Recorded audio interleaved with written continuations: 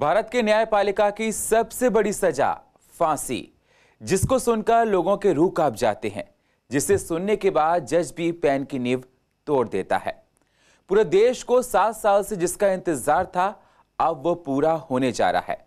जी हाँ, निर्भया के चारों गुनेगारों अक्षय कुमार, विनय शर्मा, मुकेश, पवन गुप्ता को 22 फरवरी को सुबह सात बजे तिहाड़ जेल में फांसी दी जाएगी। नमस्कार, स्वागत है आप सभी का हमारे इस खास पेशकश में, निर्भया को मिला इंसाफ में। मैं हूँ आपके साथ सुनील चौहान। 16 दिसंबर 2012 को देश की राजधानी में एक ऐसी घटना घटी थी जिसने पूरे देश को झकझोर कर रख दिया था। सड़क से लेकर संसद तक, महानगरों से लेकर कस्बों तक, हर जगह इस घटना को लेकर रोष था और आरोपियों को सजा देने के लिए पूरा देश बहुत आगे आ गया था और आवाज़ बुलंद की थी। तो चलिए हम आपको दिखाते हैं निर्भया के गैंगरेप की घटना की पूरी कहानी। निर्भया के इंसाफ की तारीख आ गई, सात साल, एक महीना, नौ दिन।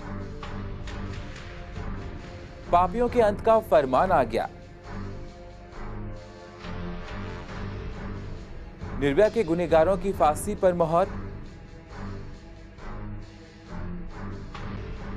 सात साल बाद निर्भया को आखिर मिला इंसाफ। 22 जनवरी को सुबह सात बजे दी जाएगी तिहाड़ जेल में फांसी। पटियाला हाउस कोर्ट ने जारी किया है डेथ वारंट। फांसी से पहले एक बार आरोपी मिल सकते हैं परिवार से। आखिर कैसे होती है? फांसी से पहले की अंतिम रात। बिहार के बक्सर में तैयार हो रहा है फांसी का फंदा। निर्भया की माता पिता ने कहा, बेटी को न्याय मिल गया, इस तरह के फैसले से अपराधी डरेंगे।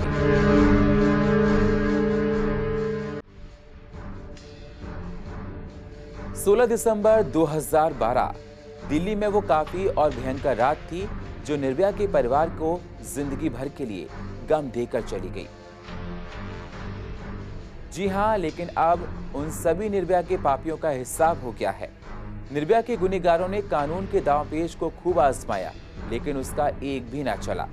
एक फिजियोथेरेपिस्ट डॉक्टर के साथ कुछ दरिंदों ने गैंगरेप कर अपने हवस का शिकार बनाया और कुछ दिन बाद तो इस दुनिया को अलविदा कहकर चली गई। लेकिन जाते जाते इस देश को तमाम सवाल दे गई। जिन लोगों ने निर्भया की अस्मियता को तार तार किया था, उन्हें अब पटियाला हाउस कोर्ट ने फांसी की सजा सुनाई है। 22 जनवरी को सुबह सात बजे तिहाड़ जेल में पवन जल्लाद इनको फांसी देगा। इस घटना पर हर नुक्कड़ गली चौराहे में गुस्सा था। फांसी देने से पहले जेल में कई दिन पहले तैयारियाँ शुरू कर दी जाती हैं। शक्ति से नियमों का पालन भी किया जाता है।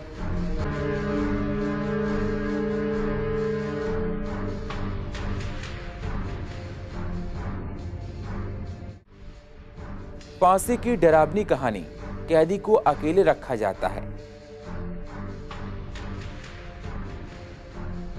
आखिरी इच्छा पूछी जाती है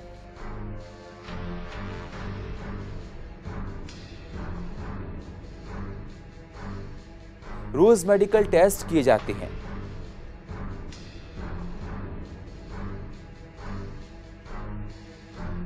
जल्लाद फांसी घर को एक दिन पहले तैयार करता है।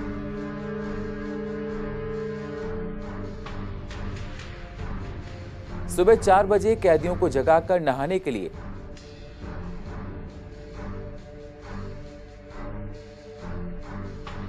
धर्मों के अनुसार गीता पढ़ना कुरान पढ़ने के लिए कहा जाता है।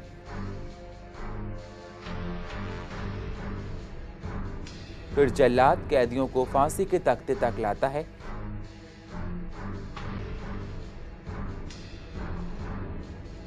उनके हाथ बांधता है। मुँह पर काले कपड़े से ढांकता है।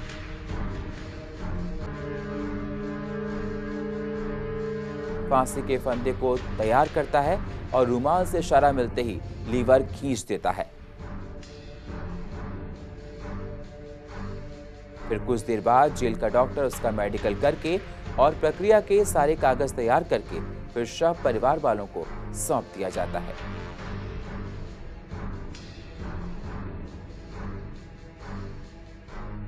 इस पूरी प्रक्रिया के दौरान बोला नहीं जाता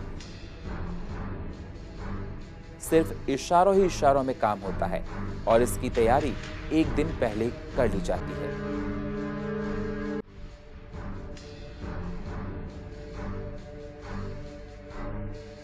अपराधियों के लिए मौत की काली रात बहुत भयानक होती है। कहते हैं गुनेगारों की सुरक्षा कड़ी रखी जाती है और उनको पूरे रात नींद नहीं आती। अभी निर्भया के आरोपी तिहाड़ जेल में बंद हैं। वैसे तिहाड़ जेल में काफ़ी लोगों को फांसी दी जा चुकी है।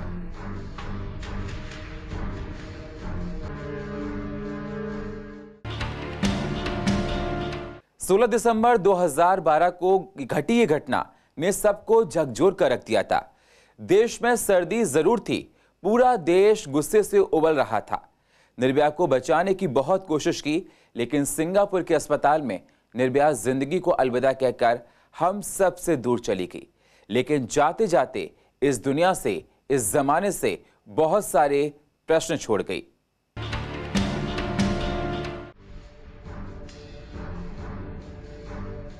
पूरे देश को इस सुनवाई पर सालों से इंतज़ार था। कोई देश के सिस्टम से सवाल पूछता था तो कोई देश की न्यायपालिका पर। आखिर इतना समय बीत जाने के बाद फैसला अभी तक क्यों नहीं आया? निर्भया के आरोपियों ने कानून का सहारा लेकर अपने आप को बहुत बचाने की कोशिश की, लेकिन कानून के फंदे ने उनका पीछा नहीं छोड़ा। आइए आपको दिखाते हैं दिल्ली की जनता इस फैसले पर क्या कह रही है।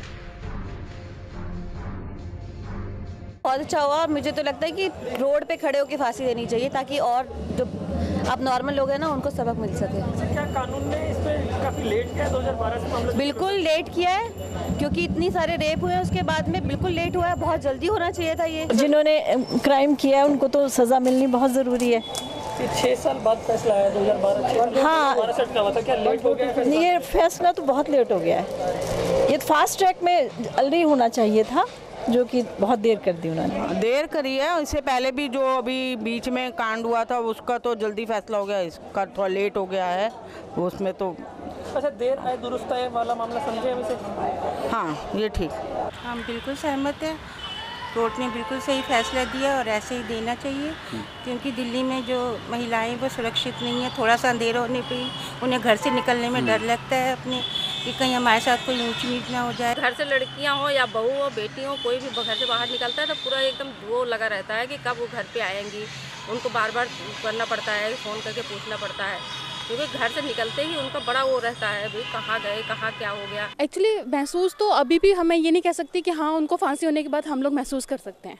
क्योंकि वो तो थे जो उन्होंने कर दिया but still daily daily basis पे कुछ ना कुछ कुछ ना कुछ नया निकल पे आता रहता है। बात है कि हमारे गवर्नमेंट को कुछ करना पड़ेगा इस पर कंट्रोल्स लाने पड़ेंगे। नहीं ये तो बहुत खुशी की बात है अब हम लोग को भी अच्छा लग रहा है कि बहुत टाइम के बाद इसमें आ, उनकी माता पिता को भी अच्छा लगेगा। ऐसे लोगों को तो तुरंत तो शूट कर देना चाहिए क्योंकि हम लोग तो बहुत अनसेफ अपने बच्चों को लेके इतना ज़्यादा डर जाते हैं ना कि बच्चों को ट्यूशन भी पास में है तो भी छोड़ने जाने में डर लग रहा है। अभी छोड़ के आए फिर लेके जाएँगे फिर छोड़ के आएँगे बहुत डर लगता है। जब हमने इस पूरे मसले पर कानून के जानकार से बात की तो उनका क्या कहना था, आप भी सुनिए। तो निश्चित रूप से कोर्ट एक नहीं, इस सेम नेचर के और भी केसेस अगर होंगे तो उन लोगों को हैंग किया जाएगा, जो कि बहुत ज़रूरी है।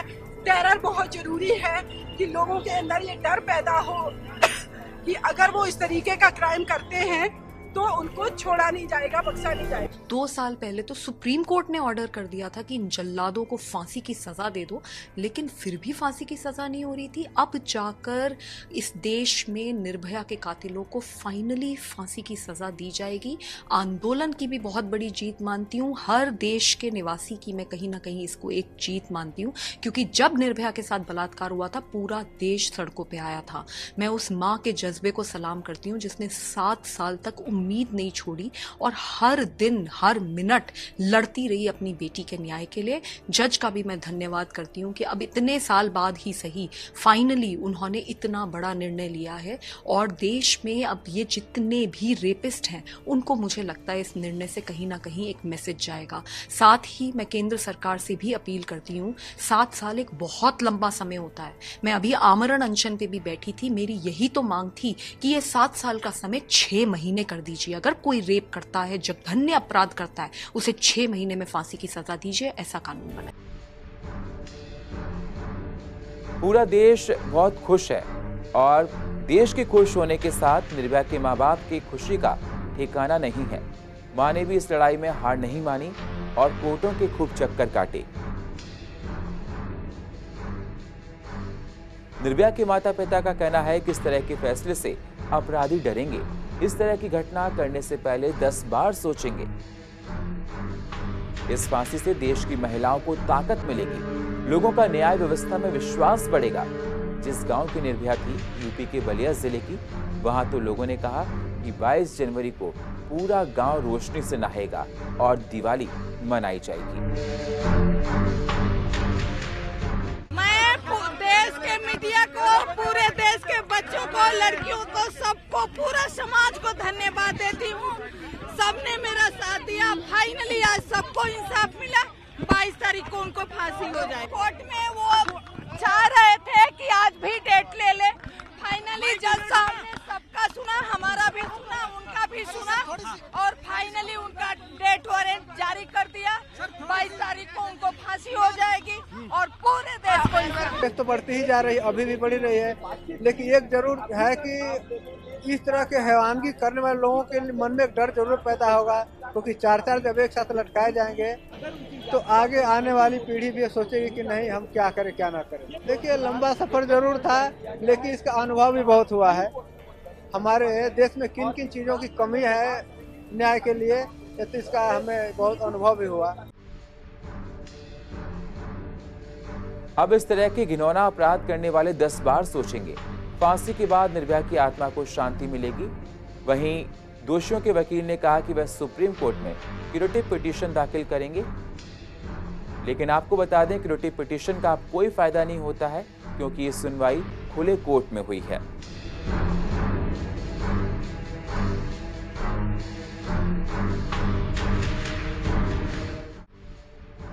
हम आपको बता दें, पिछले 20 साल में सिर्फ़ चार फांसी हुई हैं। धनंजय चटर्जी 14 अगस्त 2004 को फांसी हुई। इनका गुना था, नाबालिग लड़की के साथ पहले इन्होंने रेप किया था और फिर बाद में उसकी हत्या कर दी थी। इनको इंसाफ मिलने में, जी हाँ इस पूरी प्रक्रिया को ठीक करने में और इनको सजा सुनाने में 14 साल लग गए। अजमल कसाब 21 नवंबर 2014 को इनको फांसी हुई। गुना था इनका मुंबई पर आतंकी हमला।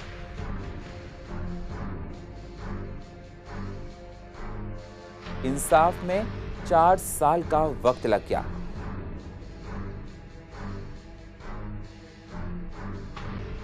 अफजल गुरु 9 फरवरी 2013 को इनको फांसी हुई। इनका गुना ये था कि 2001 संसद पर हमले की इन्होंने साजिश रची थी। इनको 11 साल लग गए इनको इंसाफ देने में। याकूब मेमन 30 जुलाई 2015 को इनको फांसी हुई। इनका गुना ये था कि उन्नीस सौ तिरानवे मुंबई धमाकों में इनका हाथ था। और 22 साल लग गए इस इंसाफ देने में।